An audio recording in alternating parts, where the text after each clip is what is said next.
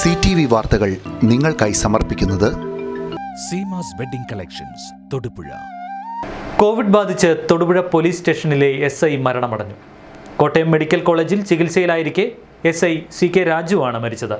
അൻപത്തിയഞ്ച് വയസ്സായിരുന്നു. കോവിഡ് ബാധിച്ച് കോട്ടയം മെഡിക്കൽ കോളേജിൽ ചികിത്സയിലിരിക്കെ കഴിഞ്ഞ രാത്രിയാണ് എസ് ഐ സി കെ രാജുവിന്റെ മരണം. മൂന്നാഴ്ചയെ കോവിഡ് ബാധിതനായി ചികിത്സയിലായിരുന്നു. പ്രമേഹ രോഗം ഉണ്ടായിരുന്നതിനാൽ വിദഗ്ധ ചികിത്സയ്ക്കായി മെഡിക്കൽ കോളേജ് ആശുപത്രിയിലേക്ക് മാറ്റുകയായിരുന്നു.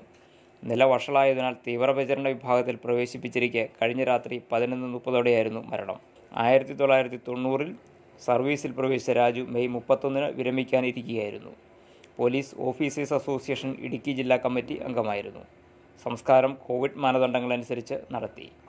ഭാര്യ മായ നവനീത് മാളവിക എന്നിവരാണ് മക്കൾ. ശുഭമുഹൂർത്തം കുറിക്കുന്ന മാംഗല്യനാദം. എന്താ? സ്വപ്നം കാണുകയാണോ? ഏയ്. ഏയ്.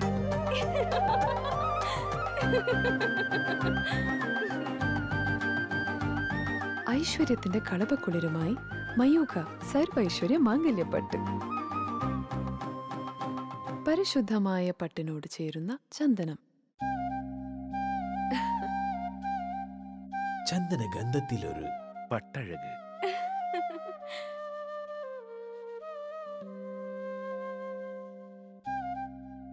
Seemas wedding collections Thodupuzha.